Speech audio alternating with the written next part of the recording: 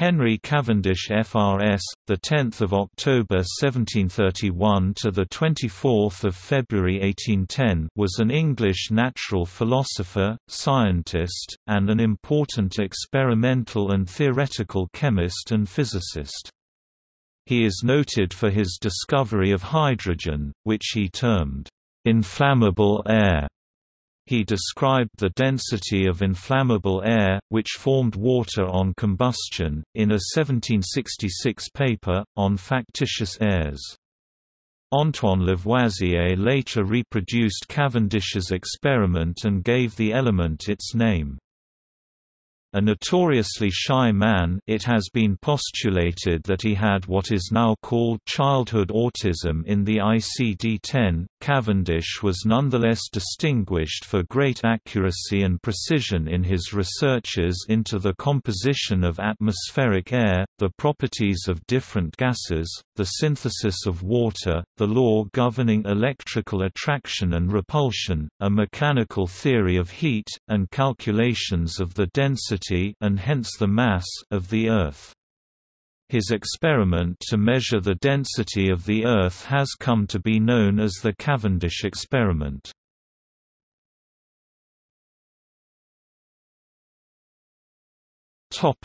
Biography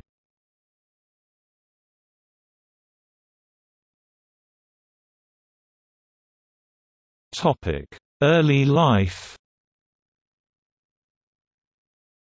Henry Cavendish was born on 10 October 1731 in Nice, where his family was living at the time. His mother was Lady Anne de Grey, fourth daughter of Henry Grey, 1st Duke of Kent, and his father was Lord Charles Cavendish, the third son of William Cavendish, 2nd Duke of Devonshire. The family traced its lineage across eight centuries to Norman times, and was closely connected to many aristocratic families of Great Britain. Henry's mother died in 1733, three months after the birth of her second son, Frederick, and shortly before Henry's second birthday, leaving Lord Charles Cavendish to bring up his two sons. Cavendish was styled as the Honourable Henry Cavendish. From the age of 11 Henry attended Newcomes School, a private school near London. At the age of 18 on 24 November 1748 he entered the University of Cambridge in St Peter's College, now known as Peterhouse, but left three years later on 23 February 1751 without taking a degree at the time, a common practice. He then lived with his father in London, where he soon had his own laboratory. Lord Charles Cavendish spent his life firstly in politics and then increasingly in science, especially in the Royal Society of London. In 1758, he took Henry to meetings of the Royal Society and also to dinners of the Royal Society Club. In 1760, Henry Cavendish was elected to both these groups, and he was assiduous in his attendance after that. He took virtually no part in politics, but followed his father into science, through his researches and his participation in scientific organizations. He was active in the Council of the Royal Society of London, to which he was elected in 1765. His interest and expertise in the use of scientific instruments led him to head a committee to review the Royal Society's meteorological instruments and to help assess the instruments of the Royal Greenwich Observatory. His first paper, Factitious Airs, appeared in 1766. Other committees on which he served included the Committee of Papers, which chose the papers for publication in the Philosophical Transactions of the Royal Society, and the Committees for the Transit of Venus 1769, for the Gravitational Attraction of Mountains 1774, and for the Scientific Instructions for Constantine Phipps's Expedition 1773 in search of the North Pole and the Northwest Passage. In 1773, Henry joined his father as an elected trustee of the British Museum, to which he devoted a good deal of time and effort. Soon after the Royal Institution of Great Britain was established, Cavendish became a manager 1800 and took an active interest, especially in the laboratory, where he observed and helped in Humphry Davy's chemical experiments.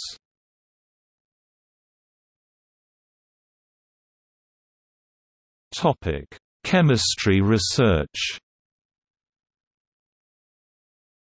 About the time of his father's death, Cavendish began to work closely with Charles Blagden, an association that helped Blagden enter fully into London's scientific society. In return, Blagden helped to keep the world at a distance from Cavendish. Cavendish published no books and few papers, but he achieved much. Several areas of research, including mechanics, optics, and magnetism, feature extensively in his manuscripts, but they scarcely feature in his published work. Cavendish is considered to be one of the so-called pneumatic chemists of the 18th and 19th centuries, along with, for example, Joseph Priestley, Joseph Black, and Daniel Rutherford. Cavendish found that a definite, peculiar, and highly inflammable gas, which he referred to as inflammable air, was produced by the action of certain acid on certain metals. This gas was, in fact, hydrogen, which Cavendish correctly guessed was proportioned to 2 in 1 water, although others, such as Robert Boyle, had prepared hydrogen gas earlier. Cavendish is usually given the credit for recognizing its elemental nature. Also, by dissolving alkalis in acids, Cavendish made fixed air carbon dioxide, which he collected, along with other gases, in bottles inverted over water or mercury. He then measured their solubility in water and their specific gravity, and noted their combustibility. Cavendish was awarded the Royal Society's Copley Medal for this paper. Gas chemistry was of increasing importance in the latter half of the 18th century, and became crucial for Frenchman Antoine Laurent Lavoisier's reform of chemistry, generally known as the Chemical Revolution. In 1783, Cavendish published a paper on eudiometry, the measurement of the goodness of gases for breathing. He described a new eudiometer of his invention, with which he achieved the best results to date, using what in other hands had been the inexact method of measuring gases by weighing them.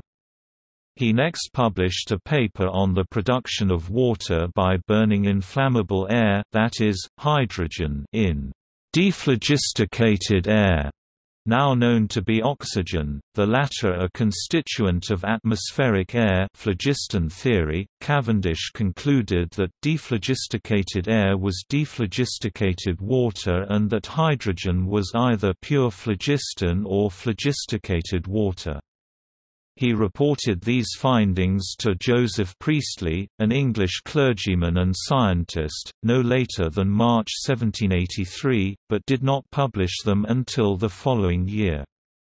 The Scottish inventor James Watt published a paper on the composition of water in 1783. Cavendish had performed the experiments first, but published second. Controversy about priority ensued. In 1785, Cavendish investigated the composition of common i.e. atmospheric air, obtaining impressively accurate results. He conducted experiments in which hydrogen and ordinary air were combined in known ratios and then exploded with a spark of electricity.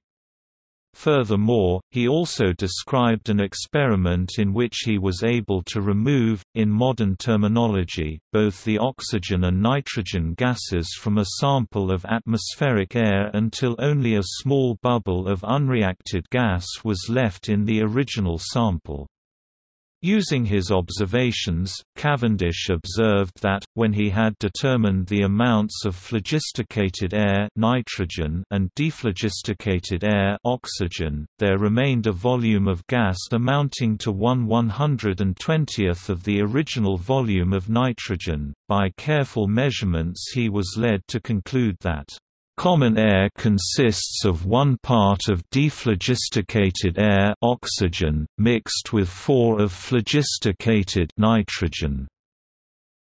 In the 1890s around 100 years later two British physicists, William Ramsay and Lord Rayleigh, realised that the newly discovered inert gas, argon, was responsible for Cavendish's problematic residue, he had not made an error. What he had done was perform rigorous quantitative experiments, using standardized instruments and methods, aimed at reproducible results, taken the mean of the result of several experiments, and identified and allowed for sources of error. The balance that he used, made by a craftsman named Harrison, was the first of the precision balances of the 18th century, and as accurate as Lavoisier's which has been estimated to measure one part in 400,000. Cavendish worked with his instrument makers, generally improving existing instruments rather than inventing wholly new ones. Cavendish, as indicated above, used the language of the old phlogiston theory in chemistry. In 1787, he became one of the earliest outside France to convert to the new antiphlogistic theory of Lavoisier, though he remained skeptical about the nomenclature of the new theory. He also objected to Lavoisier's identification of heat as having a material or elementary basis. Working within the framework of Newtonian mechanism, Cavendish had tackled the problem of the nature of heat in the 1760s, explaining heat as the result of the motion of matter. In 1783, he published a paper on the temperature at which mercury freezes and in that paper made use of the idea of latent heat, although he did not use the term because he believed that it implied acceptance of a material theory of heat. He made his objections explicit in his 1784 paper on air. He went on to develop a general theory of heat, and the manuscript of that theory has been persuasively dated to the late 1780s. His theory was at once mathematical and mechanical, it contained the principle of the conservation of heat later understood as an instance of conservation of energy and even included the concept although not the label of the mechanical equivalent of heat.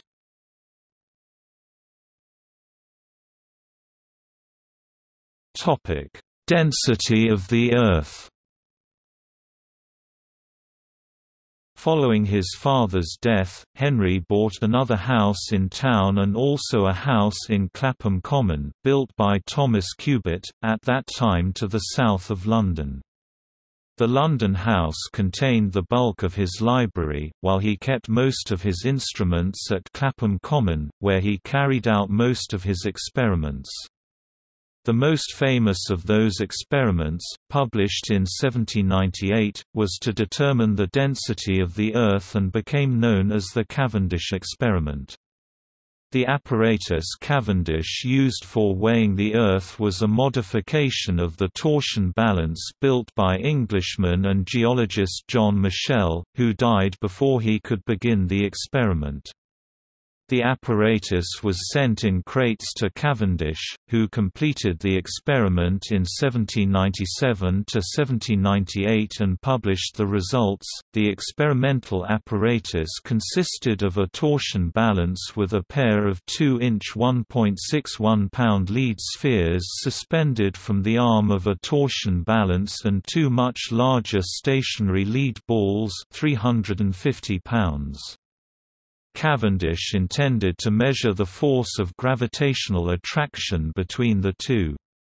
He noticed that Michell's apparatus would be sensitive to temperature differences and induced air currents, so he made modifications by isolating the apparatus in a separate room with external controls and telescopes for making observations. Using this equipment, Cavendish calculated the attraction between the balls from the period of oscillation of the torsion balance, and then he used this value to calculate the density density of the Earth. Cavendish found that the Earth's average density is 5.48 times greater than that of water.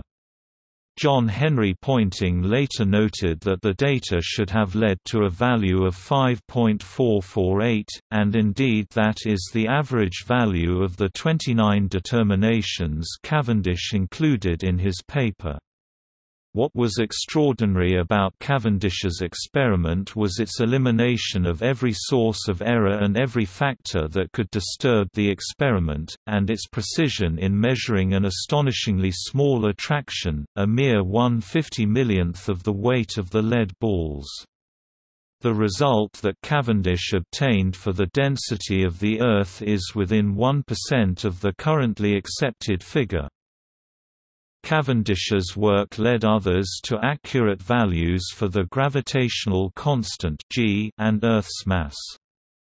Based on his results, one can calculate a value for g of 6.754 times 10^-11 n square meter per kilogram 2, which compares favorably with the modern value of 6.67428 times 10^-11 n square meter per kilogram 2. Books often describe Cavendish's work as a measurement of either g or the Earth's mass.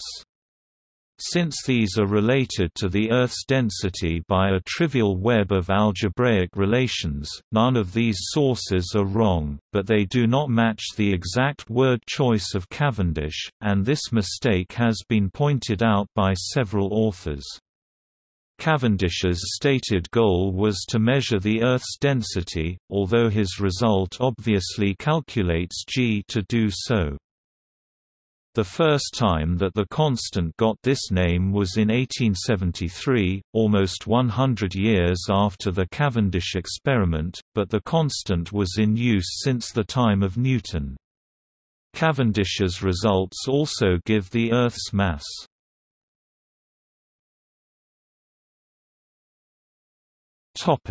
Electrical research Cavendish's electrical and chemical experiments, like those on heat, had begun while he lived with his father in a laboratory in their London house.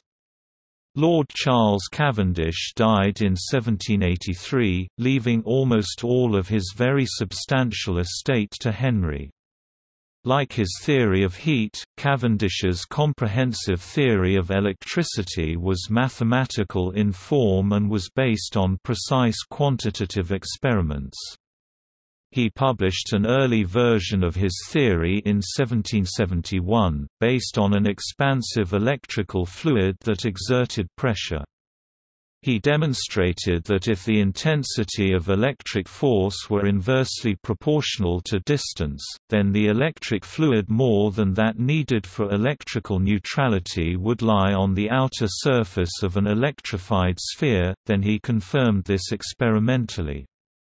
Cavendish continued to work on electricity after this initial paper, but he published no more on the subject.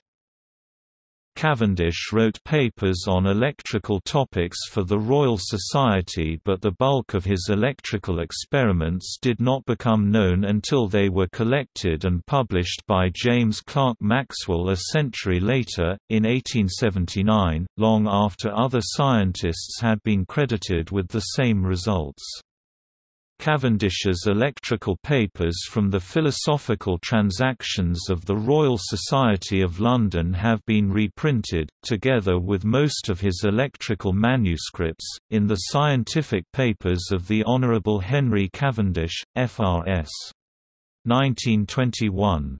According to the 1911 edition of Encyclopaedia Britannica, among Cavendish's discoveries were the concept of electric potential which he called the degree of electrification an early unit of capacitance that of a sphere 1 inch in diameter, the formula for the capacitance of a plate capacitor, the concept of the dielectric constant of a material, the relationship between electric potential and current now called Ohm's law 1781, laws for the division of current in parallel circuits now attributed to Charles Wheatstone, and the inverse square law of variation of electric force with distance, now called Coulomb's law.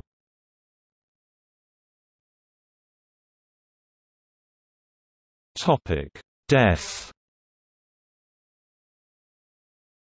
Cavendish died in 1810 as one of the wealthiest men in Britain and was buried, along with many of his ancestors, in the church that is now Derby Cathedral. The road he used to live on in Derby has been named after him. The University of Cambridge's Cavendish Laboratory was endowed by one of Cavendish's later relatives, William Cavendish, 7th Duke of Devonshire Chancellor of the University from 1861 to 1891.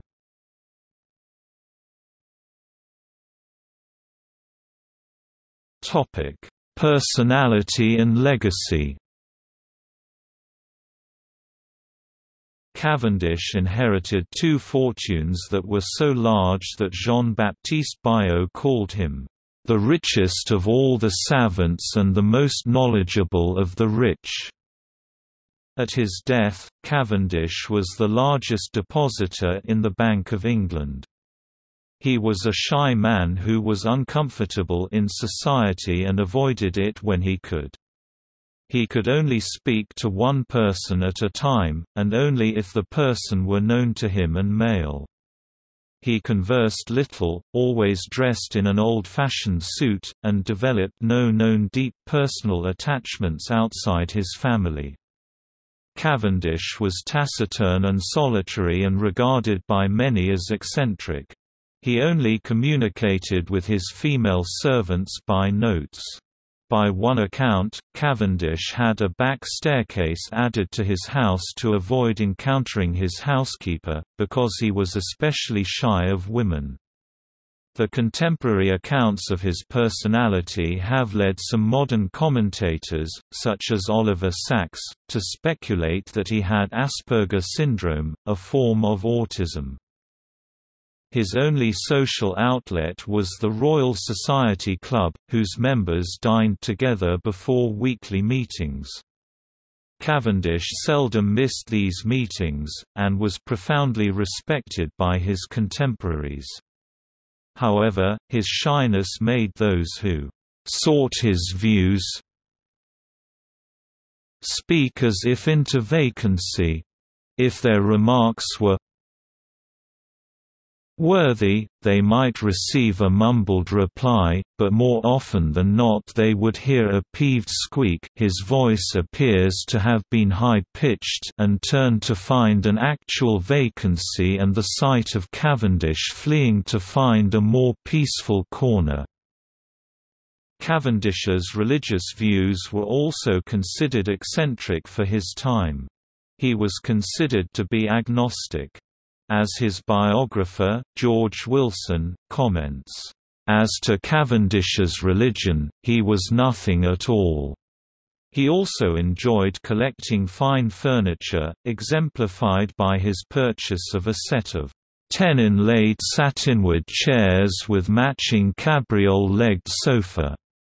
The arrangement of his residence reserved only a fraction of space for personal comfort as his library was detached, the upper rooms and lawn were for astronomical observation and his drawing room was a laboratory with a forge in an adjoining room. Because of his asocial and secretive behavior, Cavendish often avoided publishing his work, and much of his findings were not even told to his fellow scientists. In the late 19th century, long after his death, James Clerk Maxwell looked through Cavendish's papers and found things for which others had been given credit. Examples of what was included in Cavendish's discoveries or anticipations were Richter's law of reciprocal proportions, Ohm's law, Dalton's law of partial pressures, principles of electrical conductivity including Coulomb's law, and Charles's law of gases. A manuscript, Heat, tentatively dated between 1783 and 1790, describes a Mechanical theory of heat Hitherto unknown, the manuscript was analyzed in the early 21st century. Historian of science Russell McCormmach proposed that, "...heat," is the only 18th-century work prefiguring thermodynamics.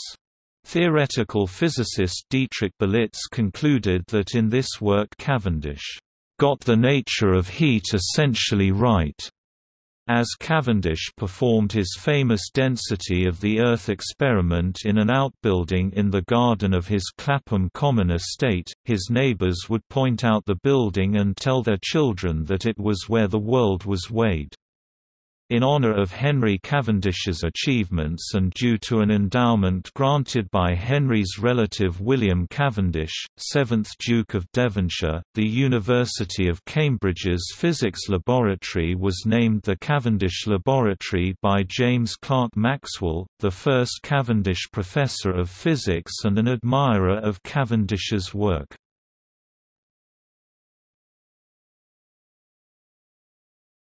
Topic Selected writings Cavendish, Henry 1921. Scientific Papers, 1. Cambridge, Cambridge University Press. Edited by James Clerk Maxwell and revised by Joseph Larmor Cavendish, Henry 1921. Scientific Papers. 2. Cambridge, Cambridge University Press. Edited by James Clerk Maxwell and revised by Joseph Larmor Cavendish, Henry 1879. The Electrical Researches of the Honourable Henry Cavendish. Cambridge, Cambridge University Press. Edited by James Clerk Maxwell. Topic See also. Timeline of hydrogen technologies.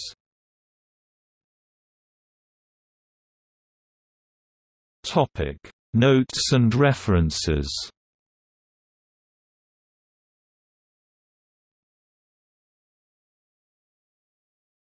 Topic. Further reading Cavendish, Christa Jungnickel and Russell McCormmach, American Philosophical Society, 1996, ISBN 0-87169-220-1, 414 pp. Cavendish, The Experimental Life, Christa Jungnickel and Russell McCormmach, Bucknell University Press, 1999, ISBN 0-8387-5445-7, 814 pp. Cavendish, The Experimental Life 2nd Revised Edition 2016, Christa Jungnickel and Russell McCormmach, Max Planck Research Library for the History and Development of Knowledge, 2016, ISBN 978-3-945561-06-5, 596 pp, available online for free.